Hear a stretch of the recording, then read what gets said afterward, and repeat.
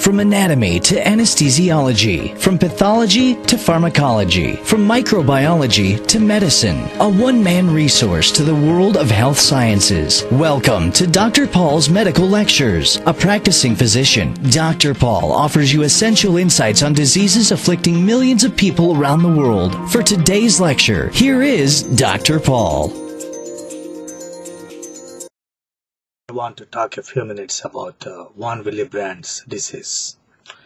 Von Willebrand disease is the most common congenital bleeding disorder and it affects like 1 to 2% of the population. And it is the group of disorders caused by the abnormalities of von Willebrand factor. Now what is von Willebrand factor? And it, there is its uniqueness is it is synthesized, stored, and secreted by the vascular endothelial cells. It is a cofactor for platelet adhesion and also a carrier protein for factor 8. So von Willebrand factor is a very large multimeric glycoprotein. It binds to the receptor and also it bridges platelets together and then when the subendothelial injury happens in the vascular injury site, well, von Willebrand factor and uh, it provides that bridging to the platelets. So it forms that clump and it attaches to that uh, vascular injury area and control the bleeding. Now it is of uh, three types. Type 1 is the most common and it is a partial quantitative disease and also type 2 it's also the decrease in the von Willebrand factor. In type 3 the deficiency of von Willebrand factor is like less than 10% so it is almost absence. So type 1 type 2 type 3 in type 3 it is almost absent. In type 1 it's almost present so you can say which is benign, which is malignant, which is uh, less serious, which is more serious. You can guess the type 3 is most serious because von Willebrand factor is completely absent in type 3. So remember that folks, in uh, uh, if, if it is like 90% present is type 1, it is like 10 to 15% deficiency type 2, it's less than 10% it is type 3 it depends so the type is uh, it is classified based on the quantity and the quality. Now many people develop bleeding because of this and particularly in children and adolescents. And symptoms include you can guess recurrent epistaxis gingival bleeding and unusual bruising. Some people develop gastrointestinal bleeding with uh, epistaxis hemotaxis and also down causing melena and hematochezia. So some people develop even hemarthrosis like blood victim to your joint and you wonder what is happening to these joints and you test them and you will find them they have von Willebrand factor deficiency. So it has these varied manifestations as simple as gingival bleeding to as complex as gastrointestinal bleeding or joint bleeding. So in these patients, you should avoid drugs like aspirin and NSAIDs and antiplatelet agents, heparin, and uh, some antibiotics because these patients are very, very prone to bleeding.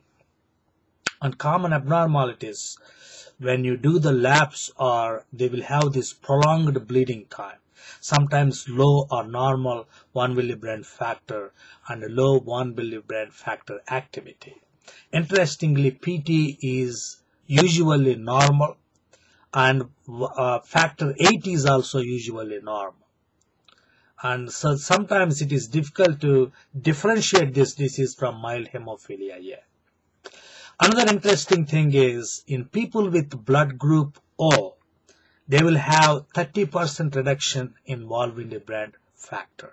Okay, type blood group O compared to other groups, they have this uh, reduction in uh, von Willebrand factor.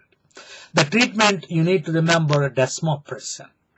you can use this in type 1 and a few cases of type 2. So desmopressin, basically this is a medication that causes, you see these uh, uh, von Willebrand factor, it increases the release of it from the endothelial cells. Okay, so desmopressin, you can use it as a medication in these patients. The problem is after four doses, patients develop tachyphylaxis. Remember that. After four doses, patients taking desmopressin develop tachyphylaxis. And in a type 2 and in type 3, you have to use the plasma products. And uh, most importantly, the cryoprecipitates. Cryoprecipitate that is containing factor 8 and von Willebrand factor. And the problem is the cryoprecipitate can transform viruses. And there is another product called Humate P. This is also has high concentration of von Willebrand factor and factor 8.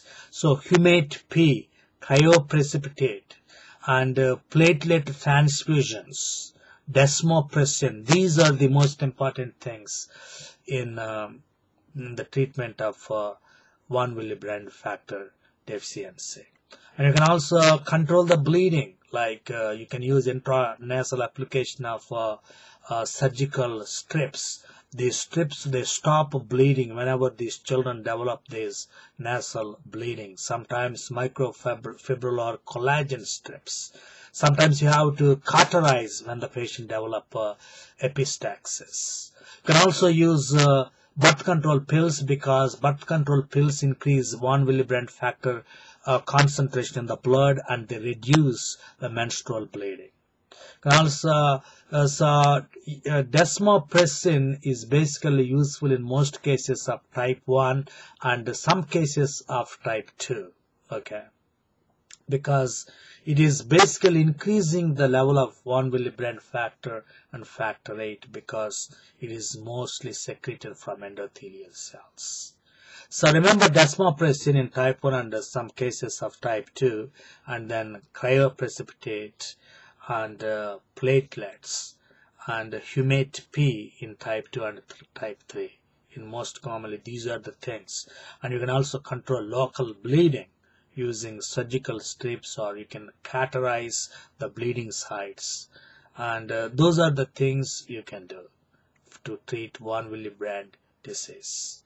And please post your comments and they are highly welcome because uh, hundreds of students now watching these videos. So if you put one important point so many students will read those points and learn something about this important disease thank you very much Thanks for listening. For more medical videos, please visit us at www.drpaul.org and take time to browse through hundreds of health videos we regularly post on our site. If you are preparing for USMLE, PLAB, and other medical exams, make sure you visit our website to browse through our videos explaining the essential points you need to know before taking these examinations. For more information, visit us at www.drpaul.org. Thank you, and may God richly bless bless you. Are you preparing for USMLE? Please do not waste thousands of dollars on training courses. Get the books written by Dr. Paul with the student to student tips and memory aids. The success will be yours, and you will soon realize your dream of becoming a physician in the United States. If you are preparing for Step 2 clinical skills, study USMLE Smasher, a guide helping thousands of medical students to pass this examination. For more information, visit us at www.drpaul.org.